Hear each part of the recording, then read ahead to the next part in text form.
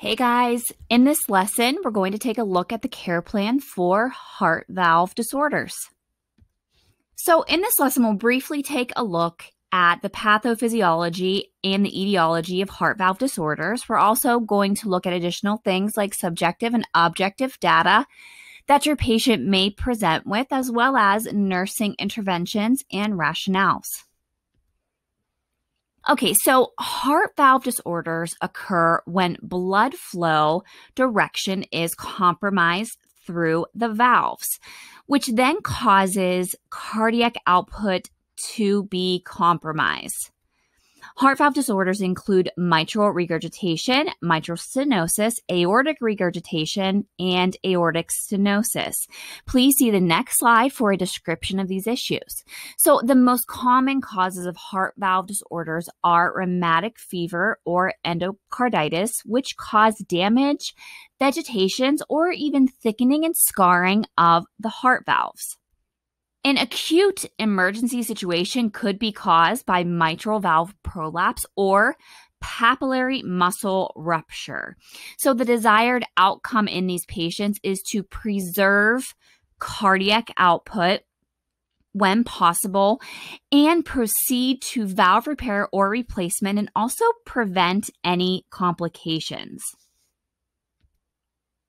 So, mitral regurgitation occurs when the mitral valve cannot close completely, and blood then flows into the left atrium. Mitral stenosis is when the mitral valve cannot open fully or is narrowed, and blood cannot get into the left ventricle.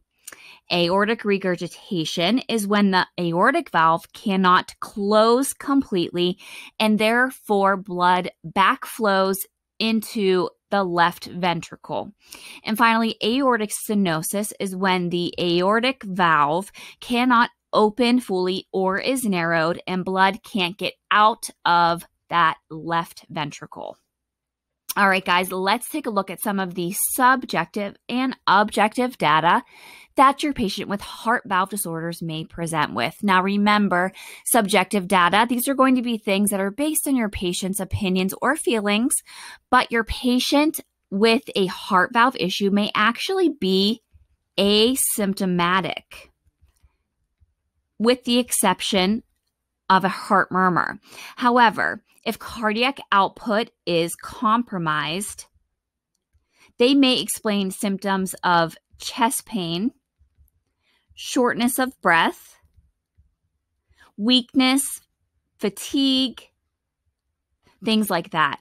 Objective data includes a systolic murmur, which is indicative of aortic stenosis or mitral regurg, and a diastolic murmur is actually indicative of aortic regurg or mitral stenosis. If cardiac output is compromised, we may see a decreased blood pressure, increased heart rate, weak pulses, slow capillary refill, and cool, diaphoretic, pale, even dusky skin. Okay, guys, let's begin to review the nursing interventions for heart valve disorders. Assessing heart sounds is critical in these patients and is the easiest way for a nurse to identify a valve disorder. A murmur indicates turbulent blood flow or abnormal blood flow through the valve. Remember, if a valve should be open but doesn't open fully, this is stenosis, and if a valve should be closed, this will be regurgitation. To help with identifying the presence of a murmur, identify is it an S1 or S2 murmur, realize which valve you are actually listening to and what should the valve be doing at this time. We also must assess and monitor the cardiovascular status of these patients as valve disorders can compromise cardiac output. By assessing their cardiovascular status, we can help to determine if there is decreased perfusion to the tissues. Be sure to assess closely their blood pressure, their heart rate, pulses, capillary refill, their skin color and temperature, as the skin will be cool, pale, and clammy with a decreased cardiac output, and also the presence of any arrhythmias. So, Assessing respiratory status is also important because think about it. If blood is not moving forward or backing up, this can create pulmonary congestion and lead to pulmonary edema. We would see a decreased SATs, crackles in their lungs, and the patient can even have pink, frothy sputum.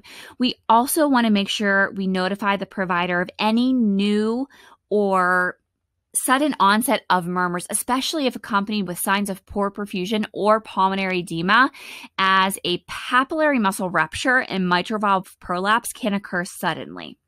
So, these issues are often accompanied with chest pain, shortness of breath, and other signs of heart failure. Guys, this is an emergency that requires surgical intervention immediately.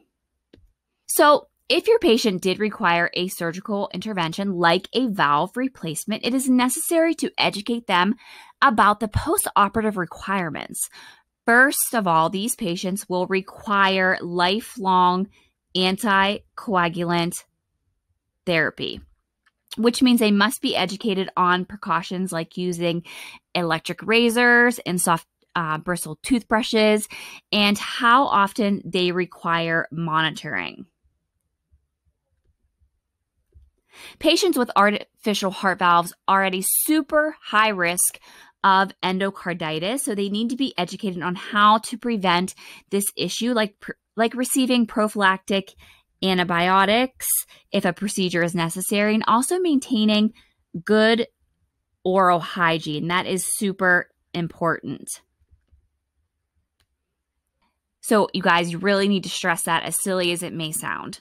There is a ton of research on how bacteria moves from the oral cavity and becomes lodged in the valve. So, with this, they should not undergo any dental procedures up to six months after valve surgery.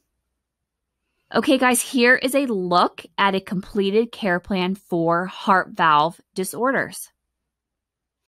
Okay, let's do a quick review. With heart valve disorders, blood flow direction is compromised through the valves, which means cardiac output is compromised. Heart valve disorders include mitral regurgitation, mitral stenosis, aortic regurgitation, and aortic stenosis. The patient may be asymptomatic or just have a murmur. Subjective data, if cardiac output is compromised, may include chest pain, shortness of breath, weakness, fatigue. And objective data may include decreased blood pressure, increased heart rate, weak pulses, slow capillary refill, and pale and cool clammy skin. Assess heart sounds for murmurs, respiratory status for signs of pulmonary edema, and cardiovascular status to assess for decreased perfusion. Notify the provider of new onset murmurs, as this could indicate an issue like a papillary muscle rupture. And guys, this requires a surgical intervention educate valve replacement patients on the lifelong anticoagulant therapy need and the prevention of endocarditis. Thanks for watching another nursing.com lesson. Click the link below in the description to watch thousands more lessons over on nursing.com. Also, be sure to hit the subscribe and the little bell to make sure you're reminded when new lessons come out. And if you want to just keep watching more lessons, go ahead and click this video over here to continue learning. Like we always say here at nursing.com, happy nursing.